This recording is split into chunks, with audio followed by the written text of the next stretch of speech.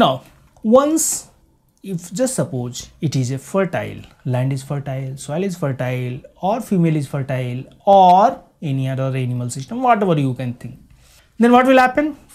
It will become conceive.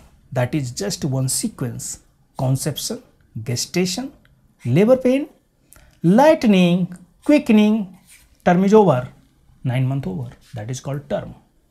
Means it will start with conception. Once it is fertile, it will be concept, conceive.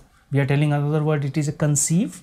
Gestation, that will be period means egg will be uh, egg will become uh, developed. That is gestation period.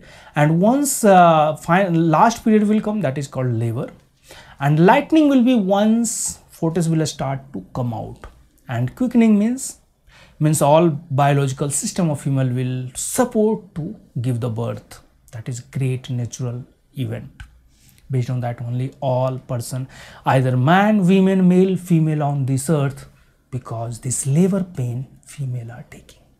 Due to always we should give respect for female because this fundamental work they are taking with great pain they are losing their body they are losing their beauty they are losing their eh, all the health to give the birth of their child.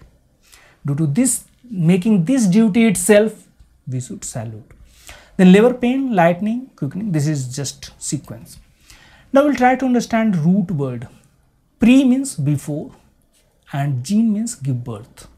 That is you can say Proto-Indo-European Union. Another parallel words are there expecting, full, gravid, fetation, foetage, gestation, gravidness all these related to pregnancy or you can say similar word to pregnancy.